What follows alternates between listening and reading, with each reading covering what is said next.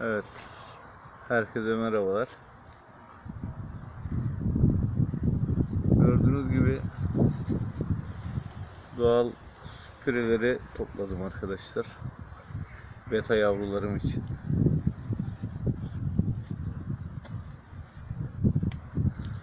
Şöyle göstereyim.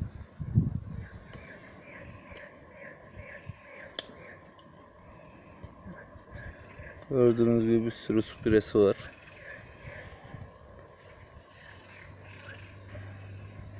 Beta yavruları için.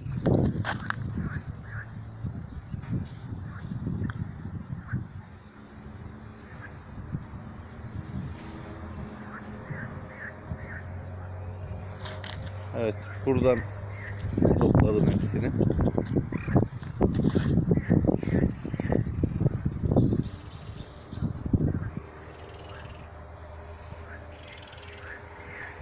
Biraz daha toplayacağım arkadaşlar.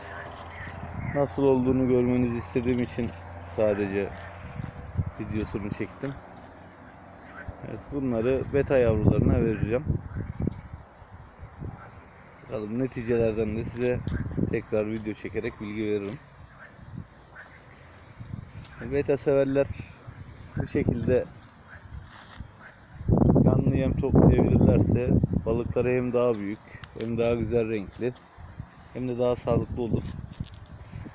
Tabi bunları her zaman bulabilmeniz zor arkadaşlar. Ee, biraz da vakit gerektiriyor. Yine lepistes, kılıç kuyruk, canlı doğuranlar bu yemleri afiyetle yer. Hepsi için çok besleyici.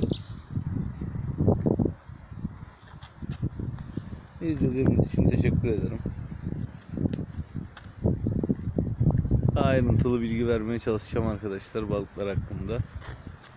Takipte kalın. Teşekkür ederim.